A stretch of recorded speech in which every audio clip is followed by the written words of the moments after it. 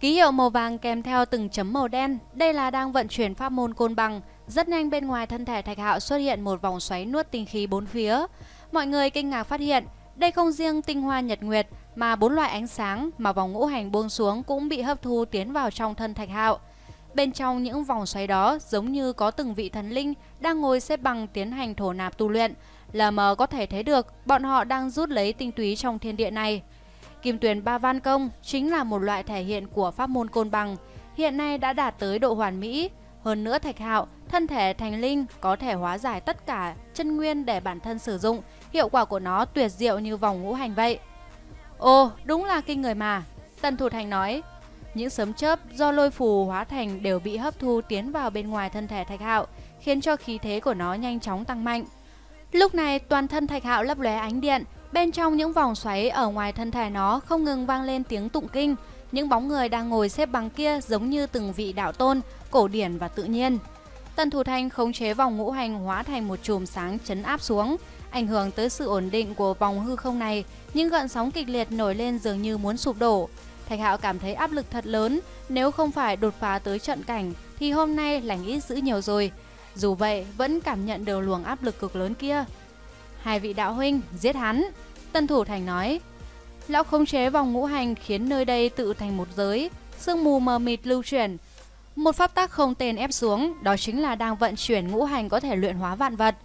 ầm một tiếng, thân thể Thạch Hạo chấn động, trong miệng phun ra một ngụm máu. Bảo cụ của đối phương quả nhiên ghê gớm, tạo thành thương tổn với nó. Bởi vì tinh hoa ngũ hành buông xuống quá dày đặc, trong lúc nhất thời như là hàng vạn sóng lớn ép xuống, dù bên ngoài thân thể của nó, những vòng xoáy màu vàng kia điên cuồng chuyển động thế nhưng cũng không nuốt hết được. Trên thực tế, những người khác còn kinh hãi hơn nó nhiều. Dù sao đây cũng là vòng ngũ hành, tắm rửa qua máu thần linh ở thượng cổ, tạo nên sát kiếp vô tận, không ai có thể chống đỡ trực diện được. Tuy nói rằng đây cũng chỉ là hàng nhái, cũng không phải là bảo vật chấn giáo của Bất Lão Sơn. Có thể cảnh giới hiện tại của Thạch Hạo cũng không thể ngăn cản được đại năng lượng thượng cổ thế nhưng cũng đủ chứng minh sự nghịch thiên của nó rồi. Lại có người có thể chống lại vòng ngũ hành, đây là một tin tức kinh người. Mọi người biết khi trận chiến này qua đi, cái tên Thạch Hạo lần nữa sẽ chuyển tới ngoại vực. Được xưng là vòng ngũ hành khó có thể phá giải mà lại được nó chặn đứng. Cường giả Hắc Vân Tàu ra tay, khống chế một hồ lô đen bắt đầu luyện hóa Thạch Hạo. Cũng trong lúc đó, vương giả của Hóa Ngư tộc lấy ra hai thanh kiếm đỏ đậm, đó chính là cặp sừng của ông ta biến thành chém mạnh về phía trước, mang theo sức mạnh phù văn vô tận. Thạch Hạo một bên chống lại vòng ngũ hành, một bên bùng phát ra kiếm khí khuấy động khắp nơi, chém về phía hai vương giả kia. Giết! Tần Thủ Thanh khống chế vòng ngũ hành hóa thành một chùm sáng nhanh như chóng ép xuống, đám sương mù kia càng dày hơn nhằm giam cầm hoàn toàn Thạch Hạo khiến cho nó không thể vận chuyển bảo thuật. Thạch Hạo hừ lại một tiếng, dưới chân hiện lên một con côn ngư mang theo sóng biển màu đen, mạnh mẽ dựng lên từng luồng âm khí, mà bên trên ánh vàng rực đỏ xuất hiện một con chim băng dương cánh kích sao lớn, tinh khí thái dương tăng vọt. Đồng thời, côn ngư và chim băng hình thành nên một liên hệ vô cùng chặt chẽ, âm dương vận chuyển bùng phát ra vô tận gợn sóng khủng bố, miễn cưỡng ngăn lại tinh khí ngũ hành. Hả? Không xong. Tần Thủ Thành khiếp sợ, lão ta ngàn vạn không nghĩ tới lại có người có thể phá giải được thần uy của ngũ hành, chuyện này không thể tưởng tượng nổi. Hai khí âm dương lưu chuyển trung hòa, chấn phá lấy khí ngũ hành, hai bên bùng phát ra những gợn sóng ngập trời. Lúc này thân thể Thạch Hạo đã khôi phục lại tự do, có thể chuyển động. Nó giơ tay chính là một luồng kiếm khí, đó chính là kiếm ý vô thượng của một cây cỏ thiên kiêu thượng cổ, hóa thành một đòn mạnh nhất chém ra ngoài. Bụp một tiếng, hồ lô của cường giả Hắc Vân tộc bị cắt ra, ánh đèn bên trong nổ tung cuốn chủ nhân vào trong, phát ra những tiếng kêu thảm thiết. Thạch Hạo lần nữa giơ tay, lại một luồng kiếm khí thông thiên bay ra ngoài. Lần này, bụp một tiếng, bổ đôi lão giả Hắc Vân tộc, máu tươi tuôn trào.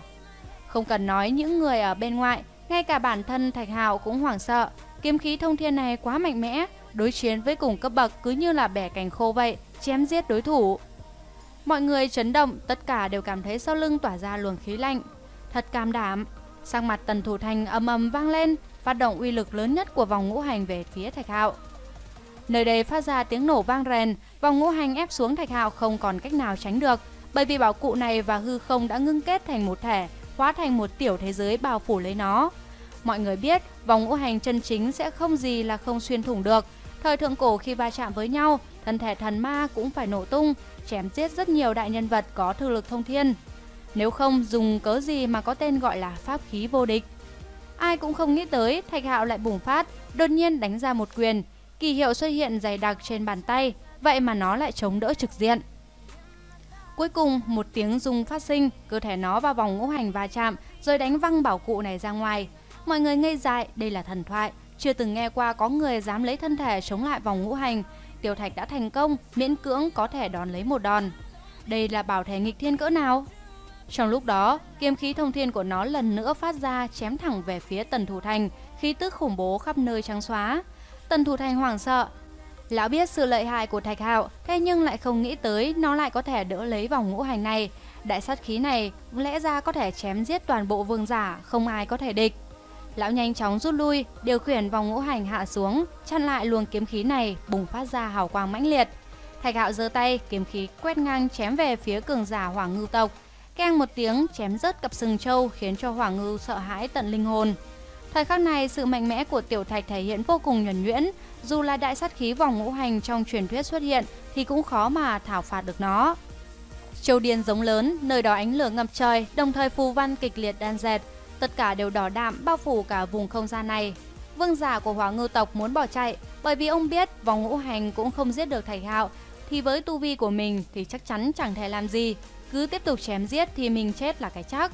Đáng tiếc vẫn chậm một bước, Thạch Hạo bùng phát, cả người hóa thành một thanh kiếm thần. Kiếm khí thông thiên thể hiện đến cực điểm bổ mạnh tới.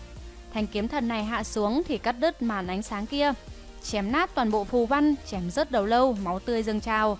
Thạch Hạo vọt tới, kiếm thần phai mờ lần nữa hiện ra thân thể của nó, thế nhưng khí thế ác liệt chẳng dám giết về phía Tần Thủ Thành. Vù một tiếng, vòng ngũ hành phát sáng, bùng phát ra sức mạnh lớn nhất về phía Thạch Hạo. Quả thật như là ngọc đá cùng nát, không chết không thôi. Màn ánh sáng dừng lên, xung quanh Thạch Hạo xuất hiện hàng loạt động thiên nối liền thành thần bàn. Trên thực tế thân thể động thiên của nó cũng hiện lên, chỉ là người khác không nhìn thấy mà thôi. Có thể bước nó tới mức này thì cũng phải công nhận sự siêu phàm của vòng ngũ hành, cũng chỉ khi quyết chiến với Thạch Nghị thì nó mới vận dụng thủ đoạn mạnh mẽ này. Cái gì? Vòng ngũ hành bị giam cầm. Mọi người khiếp sợ, không tin vào tất cả những gì mình đang nhìn thấy. Vòng ngũ hành bị cố định trong hư không, không ngừng rung động buông xuống sương mù mờ mịt. Đó chính là tinh khí ngũ hành, thế nhưng lại không thể nào thoát khỏi lực thân thể động thiên của Thạch Hạo. Một luồng kiếm khí đảo qua, tim mật của Tần Thủ Thành đều run lên rồi nhanh chóng xoay người rời đi. Sau khi mất đi vòng ngũ hành thì lão làm sao dám chống lại Thạch Hạo chứ? Nhưng mà luồng kiếm khí này cứ như là tia chớp xẻ tới, nhanh chóng áp sát phụ cận. Lão bị ép phải lấy ra bảo cụ rồi tiếp tục bỏ chạy. Thành âm rắc vang lên, bề mặt cốt nhuyễn bị cắt đứt, kiếm khí như cầu vòng ập tới phụ cận. Cả người tần thủ thành lạnh run, dùng hết khả năng để chống đỡ, nhưng bụp một tiếng, láo vẫn nuốt đi một cánh tay. Toàn bộ sự việc chỉ diễn ra trong nháy mắt, thạch hạo giết chết hai vương giả, tước đi một tay của trưởng lão bất lão sơn, sức chiến đấu vô địch. Đột nhiên, vòng ngũ hành chấn động, đồng thời bên trong truyền ra một luồng thần niệm kinh người to lớn như vực sâu biển thẳm, trong chớp mắt, khi Thạch Hạo phân tâm giết Tần Thủ Thành thì tránh thoát sự giam cầm. Có một luồng thần niệm của đại nhân vật ký thác ở trong vòng ngũ hành. Các lão bối vương giả sợ hãi. Thạch Hạo cũng biến sắc, vận chuyển pháp môn côn bằng, đồng thời khống chế động thiên chuẩn bị tiếp tục giam cầm, dùng toàn lực trấn áp. Ngoài ý muốn là thần niên trong vòng ngũ hành này lại không có chống đỡ mà nhanh chóng tránh né. Đi rồi, dù là một luồng thần niệm của đại nhân vật, nhưng dù sao cách xa với bản thể nên cũng không thể tiêu diệt được tiểu hạch.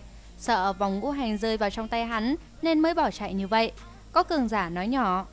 Tần Thủ Thành thấy thế thì vui mừng bởi vì lão được chùm sáng tỏ ra từ vòng ngũ hành bao phủ lấy nhanh chóng rời đi và cũng muốn mang mấy người của bất lão Sơn đi. Nhưng mà tốc độ đó có nhanh đến đâu đi nữa thì cũng không thể qua được pháp môn côn bằng. Thạch hào hóa thành ánh vàng xẹt ngang trời, hòng giết chết lão ta và lưu lại vòng ngũ hành. Trong vòng ngũ hành có một thần niệm không tên điều khiển chiếc vòng này nhanh chóng chuyển hướng và cũng bao phủ lấy thiếu niên tóc tím tần siêu kia, nhắm thẳng vào lòng đất mà đi. Không xong, thầy hạo thất kinh, cái gọi là vòng ngũ hành tự nhiên bao gồm cả thành thổ. Vật này có thể độn thổ, quả nhiên là bảo cụ hy thế. Nó liên tiếp phát ra kiếm khí thông thiên chém về phía mặt đất. Vài dòng máu vọt lên, mặt đất bị cắt ra thế nhưng khí tức của vòng ngũ hành đã biến mất. Thạch Hạo đánh tới, đánh văng lớp đất bên dưới, phát hiện tên tần siêu kia bị kiếm khí chặt đứt tổn hại nơi đây. Ngoài ra còn có một chân của tần thủ thành cũng rơi lại nơi này. Nó không nói gì, chém đứt một tay và một chân của tần thủ thành, nhưng lại không có chém trúng chỗ yếu hại của lão, đúng là mạng lớn mà. Ngươi, muốn thế nào hả? Người trung niên cụt tay kia hoảng sợ bởi vì Thạch Hạo nhanh chóng tiến tới ngăn cản đường lui của bọn hắn. Vòng ngũ hành chỉ mang theo hai người, còn mấy người khác của Bất Lão Sơn vẫn ở lại không thể nào đào tẩu được. Thạch Hạo giam cầm hư không, cố định bọn họ, sau đó thăm dò ý thức. Nó muốn biết tin tức liên quan tới cha mẹ mình. Một lát sau nó nhíu mày, không tìm ra được đầu mối hữu ích nào. Người trung niên này không biết như tên tần siêu kia, còn mấy người kia thì càng không biết ẩn tình bên trong. Nó nhìn chằm chằm đám người có tu vi hơi yếu này, muốn từ bọn họ thu lấy bảo thuật của Bất Lão Sơn, nhưng vừa mới đụng vào biển ý thức thì nguyên thần của bọn họ đã nổ tung, trong nháy mắt mất liên lạc, hiển nhiên có chấn chế đáng sợ bên trong. Người trung niên mất đi một tay sắc mặt tái nhợt, hắn là một vương giả liệt trận cảnh, chưa bao giờ nghĩ tới đệ tử của Bất Lão Sơn sẽ có một ngày như thế này, bị người khác ép tới nước này. Thạch Hạo liếc mắt nhìn hắn cũng không hề thử nghiệm việc đoạt lấy bảo thuật, bởi vì nó biết biển ý thức của người càng mạnh thì cấm chế sẽ càng lợi hại. Một luồng kiếm khí đảo qua, nó chém rớt đầu lâu của người trung niên, thi thể không đầu phụt lên máu tươi rồi ngã ẩm xuống mặt đất. Cả trang viên hoàn toàn yên tĩnh, không một ai nói tiếng gì, tất cả đều bị đè ép cả. Bản thân bọn họ hôm nay thấy quá nhiều chuyện kinh người. Uy chấn thượng cổ, bảo cụ được xưng vô địch, vòng ngũ hành, hôm nay lại có người dám dùng thân thể mạnh mẽ để chống đỡ.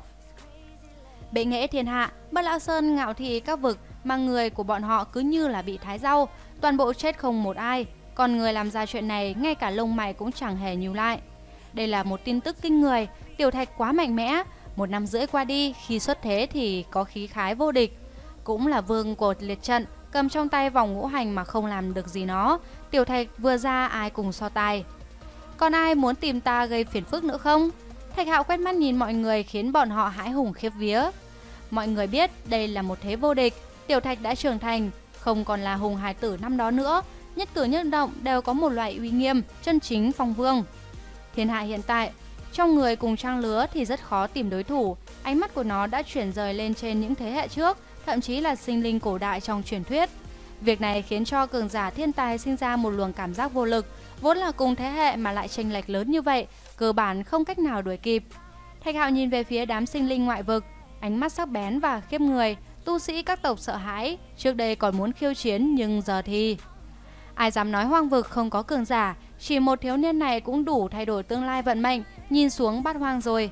Sau trận chiến này thì không một ai dám xem thường hoang vực nữa, đó chính là vực mà thiên tài các tộc, vực ngoại phải thu lại ngạo khí của mình, không ai không phục, đối mặt với tiểu thạch bọn họ không có chút phản kháng. Tiểu thạch tiên phong về trước, ai dám tranh tài? Mọi người tin chắc từ giờ trở đi đây chính là một vấn đề khó nói giải quyết, Thế nhưng, muốn tìm ra được người trong cùng thế hệ có thể chống lại nó thì được mấy ai? Một đám sâu bọ, quen nhảy nhót ở huyền vực giờ chạy tới hoang vực mà cũng dám ngang ngược. Sao không nhìn lại xem ai mới là chủ nơi này? Đại Hồng Điều vênh báo. Mọi người không nói gì, dám nói Bất Lão Sơn là sâu bọ, đây là người duy nhất. Nhưng trong mắt của đám vực ngoại đây không phải là nơi hoang sơ ư. Nhưng giờ không một ai lên tiếng, tiểu thạch quá ngang tàn, ai dám khiêu khích. Ngay cả người của Bất Lão Sơn mà cũng dám cắt như rau, không một ai nguyện ý tự vác thân đi tìm sự đau đớn cả. Trận chiến này kết thúc, trang viên dần khôi phục lại vẻ náo nhiệt. Nhị đệ, có khỏe không hả? Thạch Hạo cười híp mắt nhìn về cửu đầu sư tử, giữa hai người trước đây có ân oán với nhau, từng quyết đấu sinh tử nhưng rồi lại hóa giải. Cửu đầu sư tử đi tới, toàn thân vàng óng, tinh lực hồi dồi dào, dù là tộc thuần huyết chân chính của Thái Cổ Thần Sơn cũng chưa chắc đã là đối thủ của nó, bởi vì bộ tộc của nó quá mạnh mẽ. Mấy năm qua đi, tộc ta cho mượn Hoàng Kim Thần Lô, cửu luyện chân huyết, đoạt lấy thiên địa tạo hóa, tu vi đề thăng nhanh chóng, vậy mà vẫn không thể đuổi kịp bước chân của ngươi. Cửu đầu sư tử lên tiếng, năm đó từng bị Thạch Hạo đánh đập và cũng từng cùng Thạch Hạo vượt qua hoạn nạn, cuối cùng biến chiến tranh thành tơ lụa, nhưng trong lòng nó vẫn luôn không phục, muốn vượt qua Thạch Hạo. Mấy năm nay, nhờ cổ thần phí luyện để có thể nó nhanh chóng tiến hóa, chuẩn bị trở thành sinh linh thần huyết, giờ gặp lại Thạch Hạo, nó cảm thấy khoảng cách luôn luôn xa vời. Cho dù mấy năm qua nó nghịch thiên bao nhiêu thì cũng không tài nào đuổi kịp Thạch Hạo. Thạch Hạo cười ha hả, vỗ bả vai nó. Sự tình trải qua ở Bách Đoạn Sơn năm đó luôn khắc sâu trong lòng Thạch Hạo, cứ như mới ngày hôm qua vậy. Một vài người bạn của ta cũng tới, cửu đầu sư tử nói. Chim loan năm màu, hỏa nha, tử điêu, hai huynh đệ của tộc Ba Mắt, tất cả đều là những di trùng từng gặp Thạch Hạo ở Bách Đoạn Sơn. Bọn họ đã cùng tiến cùng lui giết qua bạch hổ, nuốt qua kim xí bằng điểu. Nơi đây trở nên náo nhiệt hơn. Nào, tìm chỗ uống rượu. Người quen gặp mặt tự nhiên sẽ phải nâng ly cạn chén chúc mừng. Hoàng vực lớn như thế mà lại từ biệt nhiều năm, có thể gặp lại cũng không hề dễ chút nào. Hỏa Linh Nhi cũng tới, trừ chuyện hăng say với bọn nó, nói một hồi thì nàng rời đi. Dù sao nàng cũng là chủ nhân nơi này nên muốn chiêu đãi tu sĩ các tộc. Lần nữa gặp nhau, tất cả mọi người đều cảm thán, Thạch Hào phong vương sớm như vậy, việc này đủ chấn động cả thiên hạ, ai mà chẳng áo ước. Thạch huynh, huynh làm chúng ta kinh ngạc đấy, năm đó cũng chỉ là một tên nhóc. Ăn uống hết thảy ở Bách Đoạn Sơn, nhưng giờ lại danh chấn hoang vực, thời gian vội vã, thay đổi rất nhiều chuyện nhen. Hỏa nhà nói, Thầy Hạo cười ha ha không ngừng, ngày xưa tuy còn nhỏ nhưng nó lại vô cùng hung tàn. Nhóm nhỏ của bọn nó được rất nhiều người kính nể, đi tới đâu cũng có tu sĩ lui tránh. Tất cả thiên tài của vực ngoại đều đi đường vòng tránh né chỉ sợ chọc phải tiểu thạch. Tôn nghiêm đều do chiến đấu mà có, quả nhiên không sai. Cựu đầu sư tử nhìn những sinh linh kia có chút xem thường nói. Trước đây không lâu, bọn họ còn kêu căng xem thường tu sĩ hoàng vực ta, nhưng giờ lại bày ra bộ dáng này. Thạch hạo gật đầu, nói Ừ, ta cũng giết một vị thiếu chủ tộc ba mắt của vực ngoại ở tổ địa hỏa quốc. Thế có quan hệ gì với các ngươi không thế? Hai huynh đệ lắc đầu, ví như nhân tộc có nhân khẩu vô tận như vậy. Tộc này số lượng cũng chẳng hề ít, phân bố ở các vực nên cũng chẳng có chút quan hệ gì cả. Sau đó Hỏa Nha nói ra một bí mật, truyền âm báo cho Thạch Hạo để cho nó cẩn thận với Nguyệt Thiền Tiên Tử. Như thế nào? Thạch Hạo chưa bao giờ xem thường tiên tử của bộ thiên giáo cả. Đây tuyệt đối là một cô gái có thể phân tranh khi ở cùng cấp bậc với nó. Thiên tư kinh thế. Nàng không chỉ có dung nhan khuynh thành, kỳ ảo như tiên mà thực lực cũng rất hiếm thấy. Siêu phàm thoát tục, không sợ tới tiềm lực của Thạch Nghị, tương lai có thể tiếp quản bộ thiên giáo. Nàng tiến vào liệt trận cảnh đã từ lâu, giờ muốn niết bàn, ta đoán một khi thành công thì có khả năng sẽ đi đối phó với huynh. Hà Nha nói. Thạch Hạo thay đổi sắc mặt, Phạm nhắc tới hai chữ niết bàn thì ai cũng phải giật mình. Đó chính là sự lột xác, như là thoát thai hoán cốt sẽ vượt qua. Nó giờ đã là phong vương, với tiềm lực vô tận của nó tự nhiên không sợ cường giả ở cảnh giới này, có thể tung hoành thiên hạ, thế nhưng sau khi nghe được tin tức này thì có chút e dè. Bộ tộc của hỏa nha ở Hòa Quật chính là một nơi tuyệt địa, quanh năm bị lửa nhấn chìm, nhiệt độ trong động cực kỳ cao, đạt tới mức khiến người nghe phải kinh hãi. Nguyệt Thiên Tiên Tử từng tới bái phóng rồi ngắt đi một cây hoa ly hỏa linh, đó chính là một dược thảo không thể nào thiếu để chế luyện niết bàn. Một khi tiến vào liệt trận vương cảnh, tu vi muốn đột phá thì vô cùng khó khăn. Nói theo một ý nghĩa khác nào đó, Thạch Hạo và Nguyệt Thiền Tiên Tử đã đi xong hết con đường của một đời người. Vô số tu sĩ dù khổ cả đời cũng không thể đạt tới cảnh giới này, loại tốc độ tu hành này dù là dòng dõi thần linh cũng chỉ đến nhiều đó. Sau cảnh giới liệt trận vương cảnh, chỉ dựa vào sự đột phá của bản thân thì chắc chắn sẽ cực kỳ khó, cần phải phối hợp với dược thảo rèn luyện thân thể, việc này sẽ mở ra các tiềm năng của thân thể. Ở liệt trận cảnh, thích hợp nhất với tu sĩ đó chính là tiểu niết bản đan, có thể mở ra thần tàng, đột phá cảnh giới này sẽ tiến vào một cảnh giới lớn tiếp theo. Nàng còn trẻ như thế mà muốn vượt qua liệt trận vương cảnh, sánh vai cùng với tôn giả. Cửu đầu sư tử giật mình có chút không tin. Thạch Hạo cũng thay đổi sang mặt, nhưng mà suy nghĩ kỹ lại thì lắc đầu nói Hắn sẽ không đâu, nàng cũng chỉ là chuẩn bị trước, củng cố tu vi mà thôi. Hiện nay nó cũng đạt tới cảnh giới này, đối mặt với tiên tử của bổ thiên giáo cũng đã có thể ứng phó. Nó không tin nàng sắp đột phá lên tôn giả, như vậy quá đáng sợ. Thạch huynh, huynh đã đắc tội với Bất Lão Sơn, cũng từng giết qua tôn giả của bộ thiên giáo, tương lai sẽ không ổn đâu. Chim loan năm màu nói. Thạch hạo gật đầu, nói. Thạch hạo gật đầu, nói. Không sao, hiện tại tôn giả đều ẩn nấp để tránh né kiếp nạn. Cho dù là người thuộc cảnh giới này thì ngoại vực cũng rút đi không ai dám tới hoang vực. Những người còn lại muốn đối phó ta thì không dễ dàng đâu. Đại kiếp nạn sắp tới, có lời đồn thần thánh đều như dơm dạ cả. Hiện tại dù là Bất Lão Sơn hay là Bổ Thiên Giáo, muốn đối phó nó nhiều nhất cũng chỉ là vương giả của liệt trận cảnh, nhưng như thế thì nó không thèm quan tâm. Nó biết Nguyệt Thiên Tiên Tử không có chắc chắn, nếu không tự mình đã ra tay rồi. Trên thực tế, trước tình cảnh quan trọng như thế này, cũng chỉ có hai đại thạch, Nguyệt Thiên Tiên Tử, chàng trai cầm chiếc đĩa thần trong tay mới có thể uy hiếp tới nó mà thôi. Nội tâm của mọi người đều linh cảm tới đại biến mà Hoàng Vực sắp nhận lấy. Thầy Huynh, tiến cảnh của Huynh sao lại nhanh như vậy? Có kinh nghiệm thì giảng giải cho chúng tôi đôi chút với. Đám người họa nha khiêm tốn thỉnh giáo. Thầy Hào cũng chẳng hề keo kiệt. Nói toàn bộ những kinh nghiệm cảm ngộ của mình cho bọn họ. Sau đó không thể không cảm thán. Sau khi tiến vào cảnh giới này, quả thật rất khó để đột phá lần nữa. Trên thực tế, sinh linh khi tiến vào cảnh giới này đều rất ghê rồi. Đây tuyệt đối là hạng người tuyệt diễm, thế nhưng lại có bao nhiêu người có thể lần nữa đột phá, tiến vào tầng cao hơn trong thiên địa này? Thường thường là khổ tu cả đời thì cũng dừng lại ở đây, nếu không mỗi quốc có không ít vương giả, thế nhưng sao chỉ có một nhân hoàng? Ngoại trừ sinh linh của Thái Cổ Thần Sơn ra, muốn tiến vào tôn giả cảnh thì thật sự rất khó khăn. Bởi vì Thái Cổ Thần Sơn giữ gìn khí tức bản nguyên của thiên địa, các linh dược họ trồng có thể luyện chế ra tiểu niết bàn đan cao cấp nhất, vì vậy đời đời đều có tôn giả tọa chấn. Chính xác, thậm chí có thần sơn có cả thánh dược, giá trị vô lượng. Bọn họ đều cảm thán về truyền thừa vô cùng bình thường của mình. Thạch Hạo biết, sau này nếu nó muốn đột phá qua liệt vương trận, chuyện này nó tự tin, thế nhưng lại cảm thấy thời gian tiêu tốn sẽ rất lâu. Thạch Huynh cũng chỉ mới 15 mà đã liệt trận vương cảnh, đừng nên lo gì cả, cơ hội còn rất nhiều mà. Địch thủ của ta rất lợi hại, ta chỉ có thể tiếp tục đột phá, ta tới tầng cao hơn thì mới có thể khiến cho bất lão sơn, bộ thiên giáo kiên kỵ. Thạch Hạo nói, mọi người không nói gì. Sự theo đuổi của bọn họ quả thật cách biệt quá lớn. Tổ phụ của ta cũng tới rồi, Thạch Huynh, Huynh có thể cùng bọn ta luận đạo. Cửu đầu sư tử nói, nó cảm thấy Thạch Hạo có tu vi như thế đủ để đứng ngang hàng với tu sĩ mạnh nhất trong hoàng vực này rồi. Trong lòng tiểu thạch hơi động nhưng vẫn không từ chối, đặc biệt là cửu đầu sư tử rất mạnh.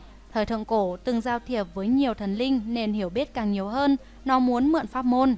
Đây là một cái sân đầy yên lặng, tám vị lão nhân đang ngồi đàm đạo ở dưới gốc cây. Khi Thạch Hạo được dẫn tới thì mấy lão nhân này đều thay đổi sắc mặt, vẫn không có bất cẩn tất cả đứng dậy, bởi vì bọn họ biết Thạch Hạo là ai, rõ ràng chỉ cần nó có thể là sống sót thì sau này hẳn có thể ngạo thế mà đi. Xin chào chư vị tiền bối, Thạch Hạo hành lễ. Mặc kệ nó mạnh mẽ cỡ nào nhưng vẫn rất tôn kính những lão vương này. Trên thực tế, những người này đều là những cường giả đỉnh cao nhất của liệt trận cảnh, có thể sẽ có ngày trở thành tôn giả. Tiểu hữu, mời ngồi, không cần đa lễ. Người nói chuyện là một đạo nhân mặc đạo bào màu đen. Qua sự giới thiệu thì mới biết đây chính là tổ phụ của Hòa Nha. Những sinh linh này nói chuyện hợp tính nhau, cùng với quan hệ thân thiết với một vị lão vương của Hòa Quốc nên đã được mời vào sân đầy thanh tịnh này. Thiên hạ sẽ loạn, những người này đều sầu lo, dù là vực ngoại cũng đang bàn luận về đại thế của hoàng vực. Thạch Hạ cũng không khách khí bình tĩnh ngồi xuống, bởi vì nó có tư cách đủ bình đẳng ngồi với những người này, thậm chí bàn về sức chiến đấu thì nó khó có thể tìm được đối thủ. Tiểu hữu có tư chất kim thiên, xưa nay hiếm có, tuy nhỏ như vậy mà đã đặt chân lên đỉnh cao nhất, đúng là làm người thán phục mà. Một ông lão mặc đạo bào màu vàng nói, thầy họ biết đây chính là cửu linh vương, là một vương giả cực kỳ mạnh mẽ, là tổ phụ của cửu đầu sư tử, thừa lực khủng bố, sắp bước một chân vào cảnh giới tôn giả rồi. Vạn bối tới đây là muốn thỉnh giáo các vị tiền bối về phương diện tu hành. Thạch Hạo nói thẳng, tốt nhất nên thẳng thắn trước mặt đám nhân vật như thế này. Liễu thần nói cho nó biết đại thế về tu hành, thế nhưng một vài vấn đề nào đó ở cảnh giới thì chưa bao giờ đề cập tới. Thỉnh giáo kinh nghiệm của những lão vương này chính là lựa chọn tốt nhất. Lão vương của hỏa quốc năm nay gần 200 tuổi, lông mày trắng rất dài, nghe nó hỏi làm sao có thể nhanh chóng đột phá thì lộ ra vẻ khác thường, nói Lấy thiên tư của tiểu hữu, tốc độ như thế đã rất kinh người rồi. Thạch hạo thở dài, nó biết người của hỏa tộc biết nó tiến vào tổ địa của họ nên cũng không che giấu gì nữa, nói nếu không phải tiến vào thánh thổ của quý quốc thì ta cũng chưa chắc tăng cấp bậc nhanh như vậy. Nghĩ tới đây Thạch hạo thở dài, đều là cổ quốc, tổ địa của thạch tộc, sao lại không có truyền thừa bậc này? Lão vương của hỏa quốc mở miệng, nói Truyền thừa ở tổ địa của thạch tộc càng kinh người hơn Nếu như tiểu hữu may mắn đạt được thì hẳn là trong thời gian ngắn sẽ đột phá liệt trận vương cảnh Tổ địa thạch tộc có truyền thừa gì thế ạ? À? Thạch hạo kinh ngạc, nó đến từ thạch tộc, lẽ nào đã bỏ qua thứ gì? Lúc này nghe thấy vậy thì trong lòng hơi động, cẩn thận thỉnh giáo.